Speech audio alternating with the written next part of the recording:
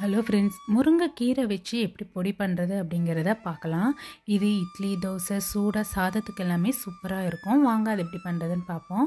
முருங்கைக்கீரை வந்துட்டு நான் ஒரு ரெண்டு கைப்பிடி அளவுக்கு வந்துட்டு இந்த மாதிரி நல்லா வாஷ் பண்ணிவிட்டு வெயிலில் காய வச்சு எடுத்திருக்கேன்.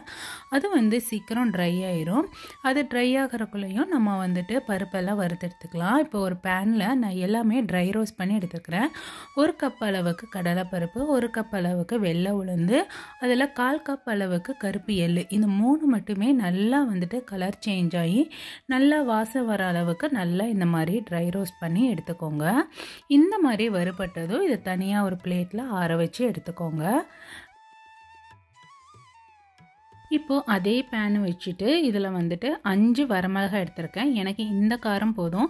ஏன்னா நான் குழந்தைங்களுக்கு தான் முக்கியமாக இதை வந்து பவுடர் ரெடி பண்ணுறேன் முருங்கைக்கீரையை நம்ம பொரியல் இந்த மாதிரி கூட்டா பண்ணால் கண்டிப்பாக சாப்பிட மாட்டாங்க அப்படின்றக்காக பவுடராக சாதத்தில் போட்டு பிசைஞ்சு தரக்காக. அதனால் காரத்துக்கு தகுந்த மாதிரி வரமிளகாய் மூணு பல் நாலு பல் பூண்டு எடுத்துக்கோங்க. இந்த மாதிரி ஒரு சின்ன துண்டு பெருங்காயம். அதையும் சேர்த்து நல்லா அது கூடயே நல்லா ட்ரை ரோஸ்ட் பண்ணி எடுத்துக்கோங்க. இப்போ நல்லா நம்ம கழுவி வாஷ் பண்ணி வச்சுருக்கிற முருங்கைக்கீரையை இதில் சேர்த்துக்கோங்க. முருங்கைக்கீரை எனக்கு இங்கே கிடைக்கிறதுன்றது கொஞ்சம் கஷ்டம்தான். ஆனால் கிடைக்கும் போது அப்படின்னா கண்டிப்பாக இந்த மாதிரி நான் பவுடர் செஞ்சு வச்சுக்குப்பேன் முருங்கைக்கீரை நம்ம எடுத்துக்கும் போது இதில் ஹீமோக்ளோபின் அதிகமாக இருக்குது அதுவும் இல்லாமல் அயன் கண்டென்ட்டும் நிறையாவே இருக்குது இது குழந்தைங்களுக்கு மட்டும் இல்லை ப்ரெக்னென்சி டைமில் கூட இதை சூப்பாக இல்லை பொரியலாக எப்படி வேணாலும் எடுத்துக்கலாம்.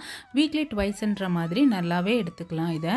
இந்த மாதிரி கீரை நல்லா பொரிஞ்சு வந்ததும் இதை வந்துட்டு அதே மாதிரி ஆற வச்சு எடுத்துக்கோங்க. இது எல்லாமே ஆறுனதும் ஒரு ஜாரில் மாற்றிக்கோங்க இதுக்கு தேவையான அளவு உப்பு போட்டு இதை வந்து நல்லா அரைச்சி எடுத்துக்கோங்க. இது நைஸ் பவுடராக இல்லாமல் ஓரளவுக்கு குறகுறப்பாக அரைச்சி எடுத்துக்கோங்க.